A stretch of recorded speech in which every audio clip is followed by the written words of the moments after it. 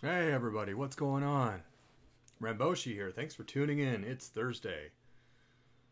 Bitcoin day after Bitcoin crash day. And just want to welcome you to the video. Um, wanted to thank you for watching the live stream yesterday. First of all, I think that was a really good, really good uh, session. And we went through a lot of really good content. I think I, I wrote in there, I wrote to you guys, that was the, uh, that's my, my net alpha uh, of my sum, my net sum of all alpha possible uh, just really wanting to again teach and, and, do what we can here. So, um, first, thanks for tuning in.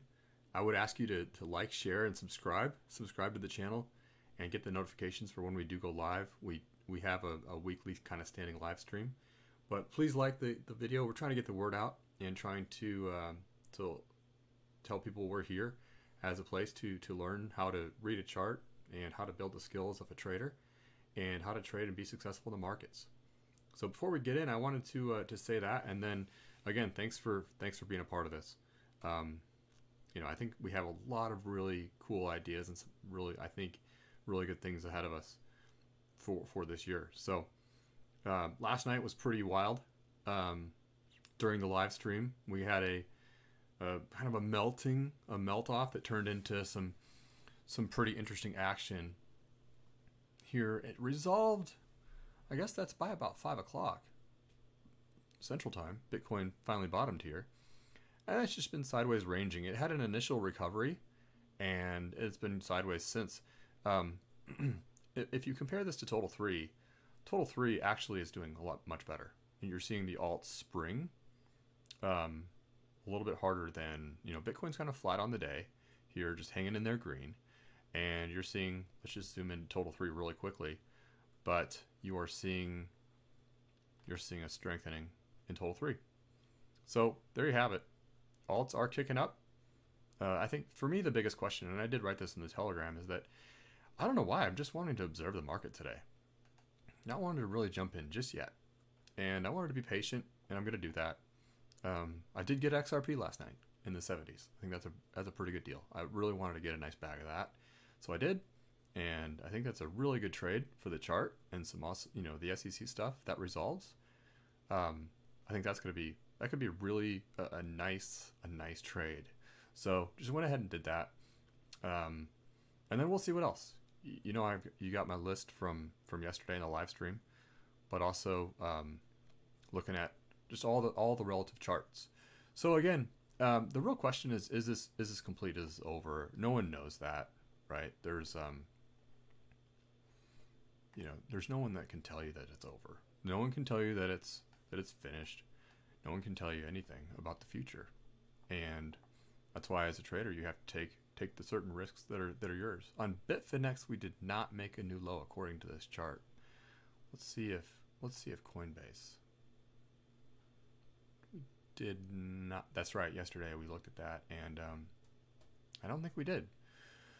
So we'll see what happens. Um, interesting on, you know, both equities. Let's go back to the the hourly, and we can Coinbase is fine. Let's go back to, you know, Bitcoin and equities. There was FOMC statement about interest rates, and apparently they came out and said we're going to have to raise interest rates a little bit sooner, and the market reacted. But if you saw my work and my idea about what I thought what might happen in the S&P was I was expecting to uh, retrace back to that breakout anyways at about 4,700. We got that. We dipped a little bit further. You know, I'm paper trading. I did. I, I was short this during the live stream. It was a, gr- huge trade, and you know, and then I turned around and I did go. You know, simulated long.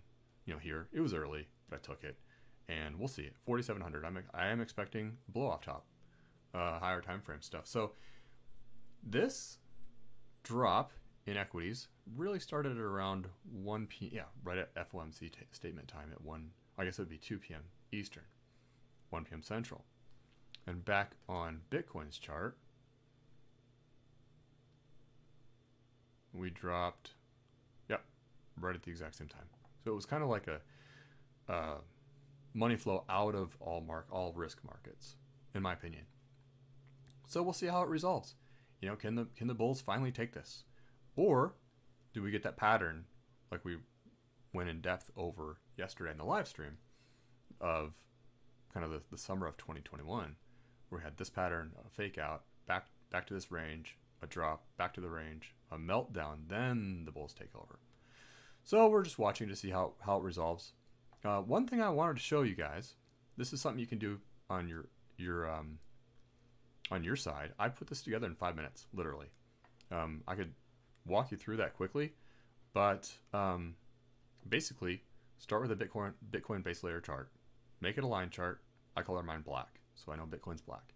Then click this compare compare tool, and you just start typing. Type ICP one, YFI, Mana, Matic. Just type these in and select them. They add as a new line on the chart. And then one thing that I had to do, it's over here on the settings icon. Click that, and I included labels. So you have to say labels, symbol, name, label. So I just click that, and then the name shows up.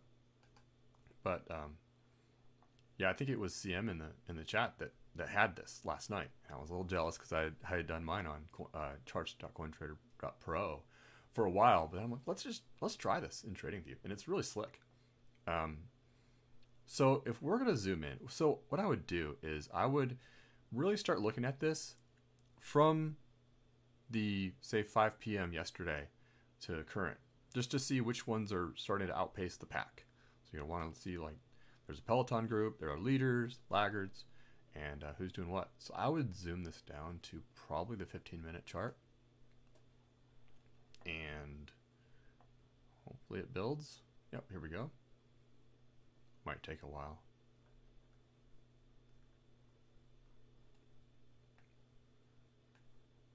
Doing this on the fly, guys, but that's so that's the drop. I want to get this back to keep zooming in till I put all that at, at is all this is all in the same percent scale. And so it starts normalizes everything to zero at the start of the left side of the screen. So what you have to do is match your zoom. See, so I want to get enough chart resolution. So I zoom in and then bring it back. And then I'm trying to push it so that left side is right there. I think that's there we go. I think that's about it. Okay. So you have this pack that's kind of angling, trending up. Bitcoin is flattish, um, but you have like a you know Akita coming up from the bottom. One mana, obvious outperformers. Atom, YFI. YFI sprung early. YFI is in this purple. I think that's it right there.